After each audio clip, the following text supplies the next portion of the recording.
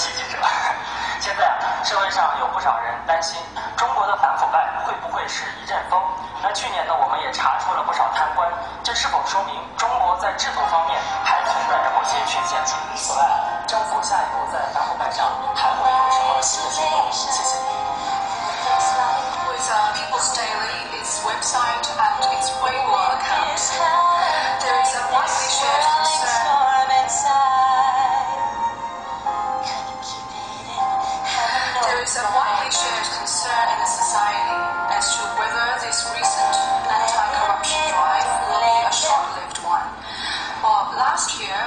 we saw many corrupt officials be dealt with, but does this show there exists some institutional flaws in China?